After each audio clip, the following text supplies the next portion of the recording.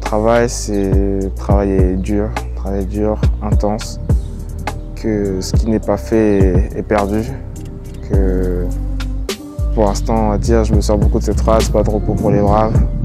Pour l'instant, c'est travailler dur pour en profiter plus tard. C'est ce que je me dis souvent, que c'est maintenant que ça se joue, c'est maintenant que tout se joue, c'est maintenant que le travail doit être fait. C'est pour ça que j'essaie de travailler intelligemment, dur, m'entourer des bonnes personnes, suivre la, la voie, un peu les traces de, de mon grand frère et de ma grande sœur.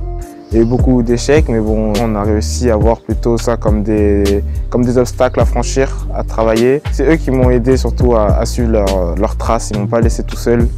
Et bah, ils sont toujours là à donner un peu leur héritage pour que, voilà, que je fasse mieux qu'eux.